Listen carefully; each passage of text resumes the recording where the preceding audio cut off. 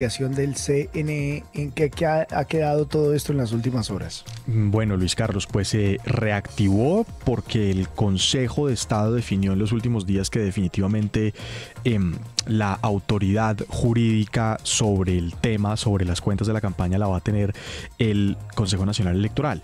Estaba suspendida luego de que los dos magistrados que han hecho esta investigación eh, entregaron a la sala plena un eh, documento con todos los hechos y solicitando la formulación de cargos en contra del presidente y de Ricardo Roa, pues eh, eh, lo habían hecho hace varios meses, pero todo estaba en el limbo en el Consejo de Estado. Ya ahora se sabe que el Consejo Nacional Electoral tiene que definir si abre formalmente la investigación para formularle cargos al presidente, a Ricardo Roa, presidente de Ecopetrol, entonces gerente de la campaña y otros auditores. Y lo que sabemos es que ineludiblemente esto va a terminar en manos de un conjuez que va a ser elegido a través del azar, de balotas, y pues que va a tener un poder enorme porque solamente en ese conjuez va a recaer la decisión, imagínese usted, de formularle cargos al presidente de la República por eh, no reportar las cuentas.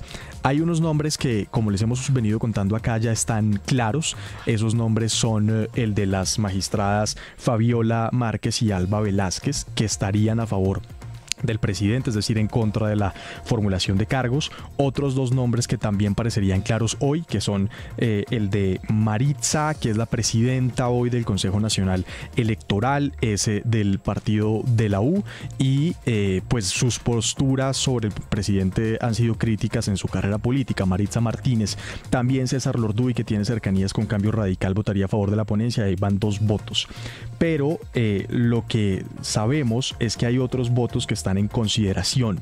Uno de esos es el del magistrado Quirós, porque es cercano al Partido Verde y fuentes dentro del Consejo Nacional Electoral nos dicen que no solamente al Partido Verde, sino que es cercanísimo a Carlos Ramón González y que ahí no está claro cuál sería su voto hoy, pues porque el gobierno aceptó la renuncia de Carlos Ramón González en medio del escándalo de la UNGRD a la Dirección Nacional de Inteligencia.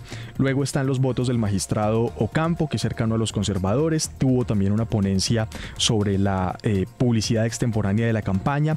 En conclusión, habría cinco votos contra cuatro.